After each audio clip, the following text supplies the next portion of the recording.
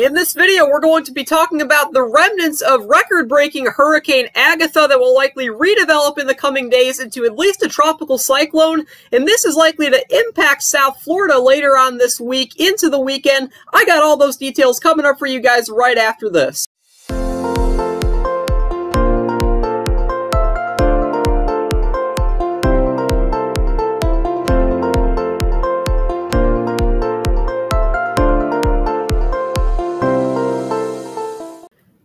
Guys do find this video helpful, be sure to subscribe to the channel with notifications turned on so that you guys won't miss future updates. Also be sure to drop a like on the video if you guys want to get this information out to other people as well. Let's get down to business. First off, we are taking a look at our two-day graphical tropical weather outlook from the National Hurricane Center in Miami, Florida. Today is actually the first official day of hurricane season, and it will last all the way through November. And we actually have two areas of potential development on our hands. One of them here in the primary area of concern in the couple of days is going to be located just east of the Yucatan Peninsula right now. This is the remnants of record-breaking Hurricane Agatha. It was the strongest May hurricane to impact the Pacific coast of Mexico since records began uh, right around 1950. And this is likely to redevelop in the coming days. It will continue to move towards South Florida and will likely cause some problems up there. On the other hand, we have another very small chance of tropical development with a system located off of the southeastern United States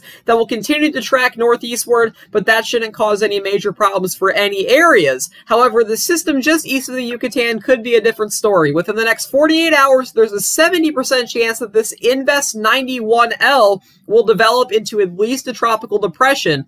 And as we get five days out from now, there's an 80% chance of that happening. By that point, it would have likely already made it through South Florida. Right now, models are actually pretty consistent that this will make landfall in South Florida, likely right around Saturday, but we could see flash flooding impacts as early as Friday as well. That system, again, eh, over the southeastern United States or just off the coast of the southeast United States, I should say, will continue to track northeastward out of our way.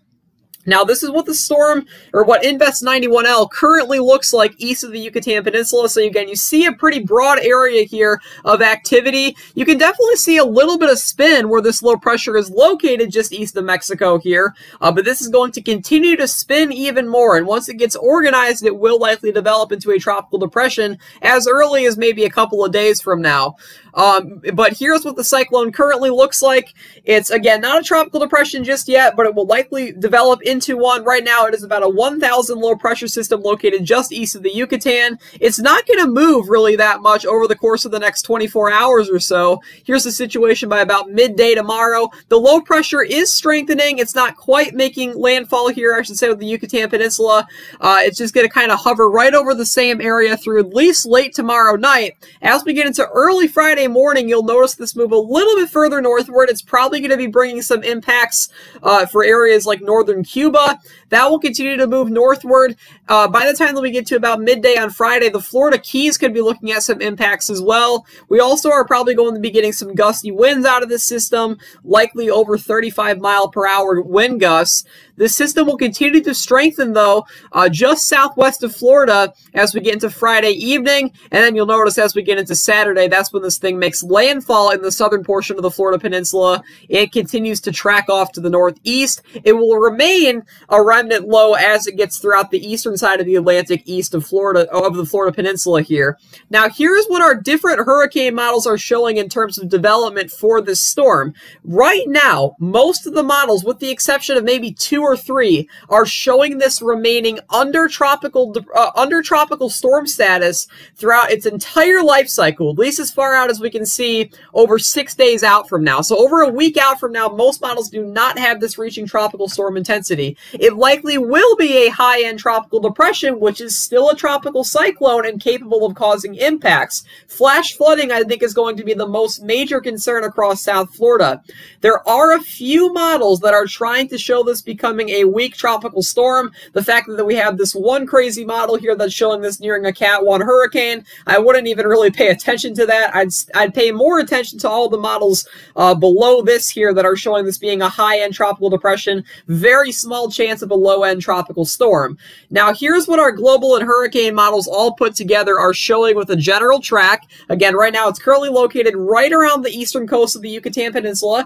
It will likely continue to track northward, probably not going to be making landfall with Cuba, uh, but there is a chance that it comes close to it. I do expect Cuba to get impacts out of this, and it is quite likely that the south portion of the Florida Peninsula uh, is going to see landfall, and after that it will move off of the eastern portion of the, of the Florida Peninsula continue tracking northeastward through the central Atlantic waters. So that's kind of what the track of the storm looked like. Right now, the Weather Prediction Center is already issuing potential flash flood outlooks for Friday.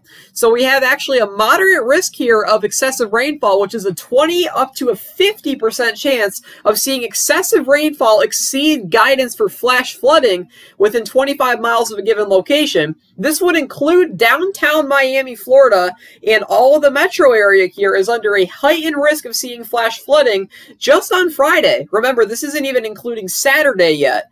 Uh, but the southern portion of Florida is definitely going to need to be on the lookout for some flash flooding concerns, uh, even on Friday. Now, if we can combine that with Saturday and Sunday as well, we are expecting an absolute ton of rainfall for the southern por portion of Florida. We are likely to see anywhere from 4 to 10 inches of rainfall across southern Florida primarily.